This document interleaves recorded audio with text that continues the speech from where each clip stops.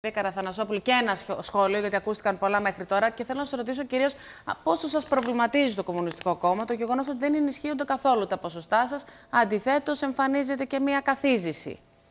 Ακούστε, καταρχάς, ένα πρώτο ζήτημα είναι ότι ευρύτερα λαϊκά στρώματα έχουν ένα προβληματισμό και μια απαγοήτευση. Και ότι πάνε να κάνουν μια επιλογή χωρίς ελπίδα ότι αυτό θα βγει σε καλό. Από αυτή λοιπόν την άποψη, λέμε ότι πρέπει να αξιοποιηθεί μια εμπειρία.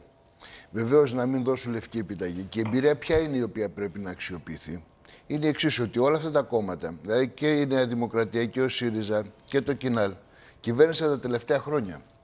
Και είναι συνυπεύθυνα για τα προβλήματα τα οποία αντιμετωπίζει ο ελληνικός λαός και μάλιστα είναι δεσμευμένα ότι την επόμενη των εκλογών θα συνεχίσουν και θα κλιμακώσουν την αντιλαϊκή επίθεση. Και είναι δεσμευμένα απέναντι στις μεταμνημονιακέ δεσμεύσεις οι οποίες υπάρχουν, στα πρωτογενή πλεονάσματα τα ματοβαμμένα.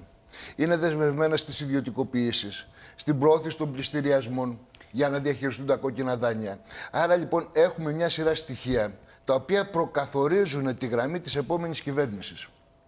Ανεξάρτητα θα είναι η Νέα Δημοκρατία αυτοδύναμη, αν θα είναι συνεργασία. Ναι, αλλά ξέρετε κάτι, κύριε Καραθανασόπουλε. Το λέμε, λοιπόν... Αυτή είναι η ρητορική σας. Ωστόσο, φαίνεται δεν είναι η ρητορική μας, αυτή είναι η πραγματικότητα. Δεν συντάσσετε μαζί σας. Αυτή είναι η πραγματικότητα. Φαίνεται να μην πείθετε τον κόσμο, Προσέξτε. επειδή μονίμως κάνετε κριτική από Προσέξτε. την απέξω. Είναι πραγματικό ή όχι πρέπει να έχει δημοσιονομικό πλεόνασμα 3,5%. Ναι, αλλά δεν, δεν, δεν λέτε τον τρόπο εσείς με τον οποίο θα, θα βοηθήσετε μια κυβέρνηση Ακούς, να, εγώ, τα, να τα πετύχει αυτά προς τα κάτω για τον ελληνικό λαό.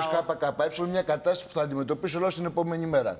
Άρα λοιπόν θέλει να δώσει επιταγή στην κυβέρνηση να συνεχίσει την επόμενη μέρα απρόσκοπτα την κλιμάκωση της αντιλαϊκής πολιτικής ή θα πάρει τα μέτρα αυτά τα οποία μπορεί στις σημερινές συνθήκες να αποδυναμώσει την όποια εκδήλωση και κλιμάκωση αντιλαϊκής πολιτικής. Και αυτό πώς μπορεί να γίνει, Μπορεί να γίνει ο λαός είναι δυνατός απέναντι στην κυβέρνηση.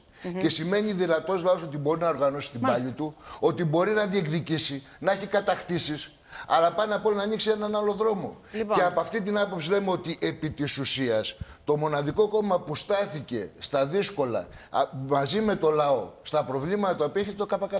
Άρα, ξεπερνώντας προκαταλήψεις που μπορεί να έχει, στις σημερινές συνθήκες χρειάζεται ακριβώς ισχυροποίηση του ΚΚΕ για να είναι ισχυρός ο λαός. Λοιπόν. Να μπορέσουμε να απαντήσουμε λοιπόν στην αντιλαϊκή επίθεση. Διαφορετικά θα, υπάρχει, θα υπάρχουν. Δεν σας προβληματίζει δηλαδή το γεγονός ότι έχετε πτώσει το ποσοστό. Βεβαίως μας προβληματίζει το γεγονός και θέλουμε ακριβώς ε, μια ένας ευρύτερος κόσμος ο οποίος παρακολουθεί και ακούει το ΚΚΕ. Φαίνεται αυτό και από δηλώσεις στήριξης ανθρώπων οι οποίοι είχαν τα προηγούμενα χρόνια κάνει διαφορετικές επιλογές mm -hmm. και σήμερα συμπορεύονται με το ΚΚΕ. Πιστεύουμε ότι αυτό είναι μια σπίθα που μπορεί να διαμορφώσει τις προποθέσει στην κάλπη των εκλογών να φανεί μια ευρύτερη δυναμική με το ΚΚΕ. Η οποία θα μεταφραστεί όμως την επόμενη μέρα σε ισχυρό λαϊκό κίνημα, σε ισχυρό λοιπόν, λαϊκό παράγοντα. Θέλω. Διαφορετικά τα προβλήματα θα είναι εδώ μπροστά μας και άμα είναι αδύναμος ο λαό, τότε πολύ πιο εύκολα οι κυβερνήσεις θα επιβάλλουν τα αντιλαϊκά τους. Πριν πάμε στο... Όλη αυτή η συζήτηση προσπαθεί να κρύψει και να αποκρύψει το βασικό ζητούμενο.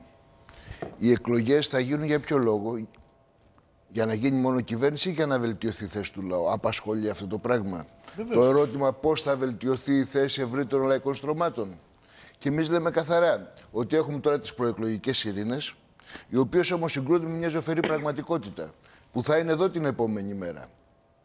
Οι φόροι θα είναι εδώ και η φορολογική επιβάρηση του λαού θα είναι εδώ. Τι θα κάνει το Κομμουνιστικό Προσέξτε, Κόμμα, κύριε Καραθανασόπουλε, για να, φύ... θα να μειωθούν πω, οι φόροι; Μα θα σας πω, θα σας πω, θα σας πω. Οι φόροι λοιπόν θα είναι εδώ.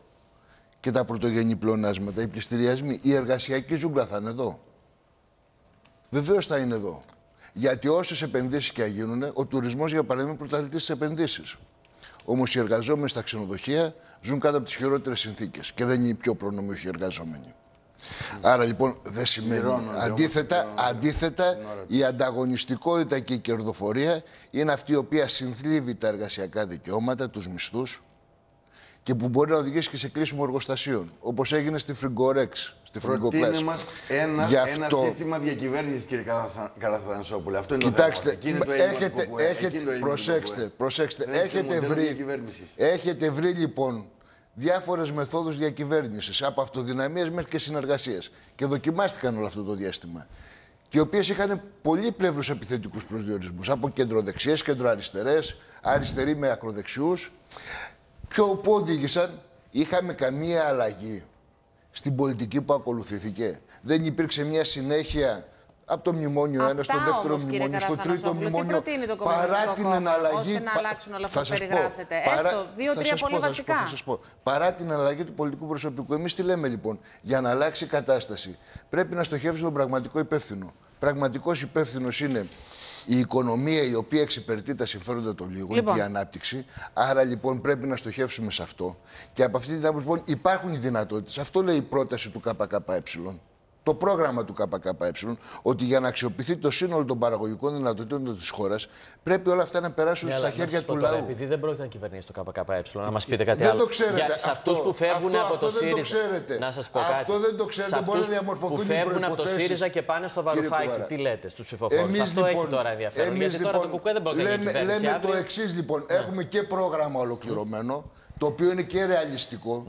Ναι και είναι στη θέση του λαού αν θα αποφασίσει να υλοποιηθεί το πρόγραμμα. Εντάξει, εγώ λέω και τώρα λέμε το εξής. Που φεύγουν από το ΣΥΡΙΖΑ και, τώρα, και πάνε στο βαρουφάκι. Και τώρα λέμε είναι το εξής. Και τώρα λέμε το εξής. Και απαντώντας στην ναι. ερώτησή σας. Ναι. Τι λέμε λοιπόν, ότι σε όλο αυτόν τον κόσμο, τον αριστερό, τον προοδευτικό κόσμο, τα λαϊκά στρώματα, στις σημερινές συνθήκες ακριβώς πρέπει να, να συμπορευτούμε το ΚΚΕ.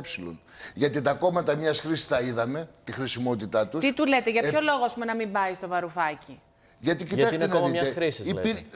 Πέρα από το είναι μια, ακόμα μιας χρήσης, mm. έχει ευθύνες. Λοιπόν, Ω υπουργός της κυβέρνησης του ΣΥΡΙΖΑ έφερε επί της ουσίας τα πρόθυρα για το μνημόνιο. Άσε να το υπογράψει ο ίδιος. Και από αυτή την άποψη λέμε καθαρά. Αν θέλει να υπάρξει μια διαφορετική προοπτική για το λαό, πρέπει στις σημερινές συνθήκες να ισχυροποιήσει το αντίπαλο δέος. Και το αντίπαλο δέος πραγματικά είναι σήμερα η δύναμη του ΚΚΕ που μεταφράζει σε δύναμη του λαού, των αγώνων, του κινήματος της λαϊκής αντεπίθεσης. Διαφορετικά τα προβλήματα θα είναι εδώ μπροστά μας και αν δεν έχουμε αυτό το λοιπόν. εργαλείο να μπορέσουμε να αποτρέψουμε, τότε πραγματικά η θέση θα επιδεινωθεί ακόμη περισσότερο το επόμενο Επειδή μας έμειναν μόνο δύο. Κύριε Καραθανασόπουλε, εκτιμάτε ότι γενικότερα η διακυβέρνηση Τσίπρα, ΣΥΡΙΖΑ, έκανε κακό στον όρο αριστερά και εν τέλει και στο Κομμουνιστικό Κόμμα. Δηλαδή ότι ο κόσμος κάπου απογοητεύτηκε από αυτό που ονομάστηκε διακυβέρνηση της αριστεράς και εν τέλει σε ένα ποσοστό και το Κομμουνιστικό Κόμμα το πληρώνει αυτό.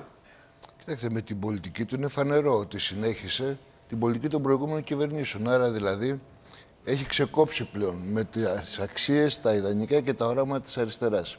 Είναι ένα άλλο κόμμα αν είχε ποτέ στο παρελθόν. Έκανε κακό στο Κομμουνιστικό Κόμμα. Από αυτήν την άποψη βεβαίως έφθυρε τέτοια πράγματα. Δηλαδή καλλιέργησε απαγοήτευση στον κόσμο. Ε, και από αυτήν την άποψη συνέβαλε στη συντηρητικοποίηση ευρύτερων δυνάμεων.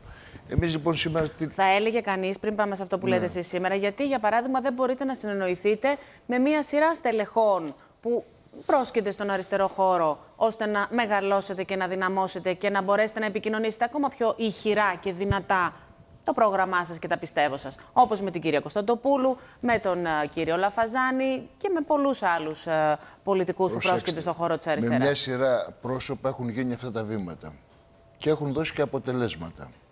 Και με υψηλόβαθμα στελέχη του ΣΥΡΙΖΑ στο παρελθόν, όπως έτσι, δεν θέλω να αναφέρω ονόματα, ο κύριος Μιλιός για παράδειγμα, οι οποίοι κρατούν τις διαφορετικές τους, τις επιφυλάξεις, οι οποίες έχουν στις σημερινές συνθήκες, διότι πρέπει να συμπορευτούμε το ΚΚΕ για να, δια, για να δυναμώσει η ελπίδα, η προοπτική και ο αγώνας του λαού. Οι υπόλοιποι, ε, τα διάφορα άλλα που αναφέρατε, βεβαίως έδειξαν ότι όχι μόνο δεν έχουν δυναμική, αλλά επί της ουσίας προσπαθώντας να εγκλωβίσουν κόσμο σε διεξόδους οι οποίες είναι λαθεμένες, επί της ουσίας αποδυναμώνουν τη λογική του κοινού μετόπου. Του μετόπου πάλι στο οποίο έχει ανάγκη ο κόσμος. Και από αυτή λοιπόν την άποψη λέμε ότι μια σειρά τέτοια κόμματα τα οποία εμφανίζονται και στο παρελθόν και σήμερα, όχι μόνο δεν βοηθούν στη χειραφέτηση του κόσμου και στη ζωσπαστικοποίηση, αλλά αντίθετα καλλιεργούν απαγοήτευση και επιστρέφουν επί της ουσίας αυτή τη δυσαρέσκεια πίσω από εκεί στα κόμματα από τα οποία γεννήθηκε. Ε... Γι' αυτό ακριβώς το λόγο και μπορεί να υπάρχουν επιφυλάξεις, εμείς λέμε, σε ένα ευρύτερα λαϊκά στρώματα για το ΚΚΕ. Όμως είναι κάτι σίγουρο ότι δεν πρόκειται να τους απαγοητεύσει. Μάλιστα, κύριε Καραθανασόπουλε. Κουκουέ δεν πρόκειται να λοιπόν, στα, στα δύο λεπτά που μας μένουν. προεκλογικά και άλλα έκανε μετεκλογικά. Στα δύο λεπτά που μας μένουν, ένα. Ακόμα λιγότερο.